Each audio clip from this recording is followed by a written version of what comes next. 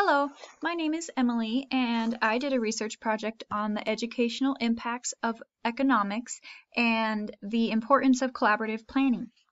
So many people wonder what does education and the economy have in common?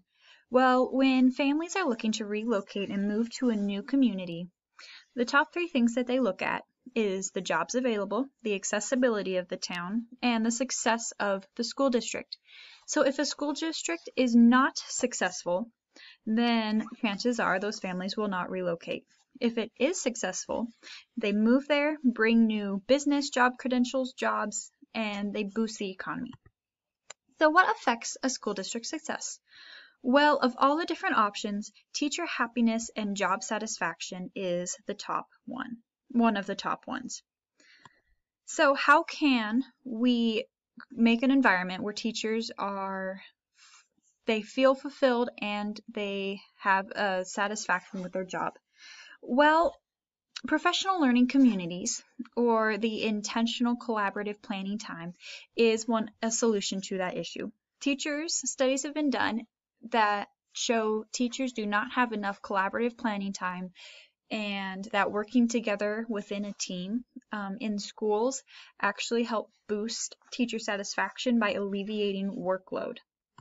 So why is this important?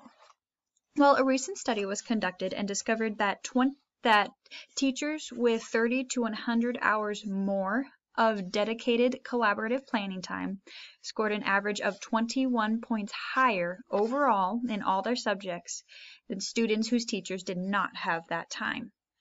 So this is a huge influencer in not only teacher satisfaction and retention, but also in student achievement.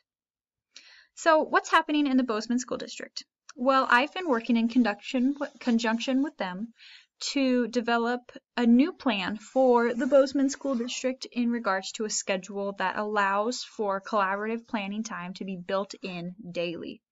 And so these are a couple different models that have been um, created by the Bozeman School District, and they are going to be presented to the board in the spring of 2020 to be voted on.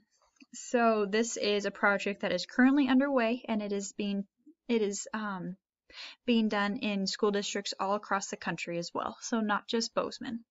And thank you for watching my presentation.